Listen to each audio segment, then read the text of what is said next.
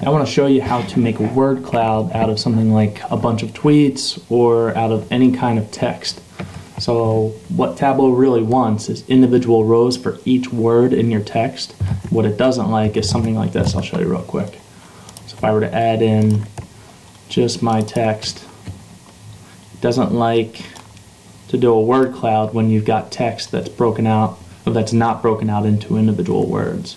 So here's all the tweets, and I grabbed a bunch of tweets from one of Andy Kriebel's visualizations on Donald Trump. Um, but what we need to do is chop this up into individual words. And it's pretty easy to do that, we just got to do a combination of some things. So right now we've got it as a CSV. Let's get back out of here. And what we need to do is open up that CSV in Excel.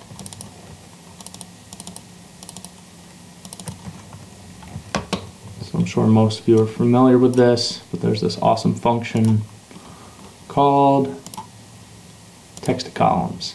So you want delimited, go next. I select all these things.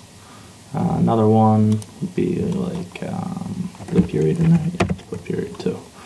We'll finish that, and now we get a bunch of individual rows there, right? So we want to extend column names to all these individual rows. So we'll call this text one, this text two.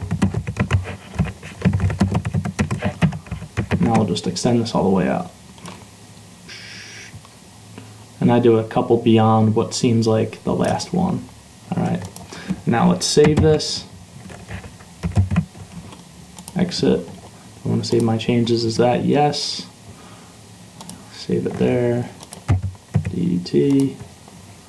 Yes, whatever. Now let's add that in, right? I like to start fresh. Let's add in a new one, text file, DT. And here you can see all of our text columns. What we want to do now is pivot all those into one column. So I hold down the shift key, and go back to that. Hold down the shift key after I've selected that and go all the way to the end. Alright, so now I've got all of them. This is the key thing you do here, and now you just say pivot.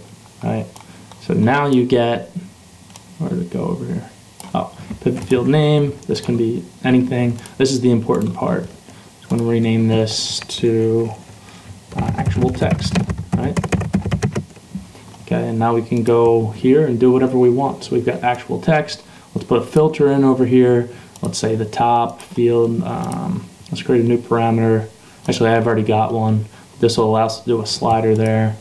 It's not actual text. And let's do actual text, number of records. Let's start out with a bubble chart, which isn't great. Um, we don't need color on there. But we can see a bunch of words that are like very common that are usually excluded from sentiment analysis. So what we can do is just use that set of words. So see if I can copy all them from here and I'll publish this list beneath the YouTube video and we'll add that in as a filter too.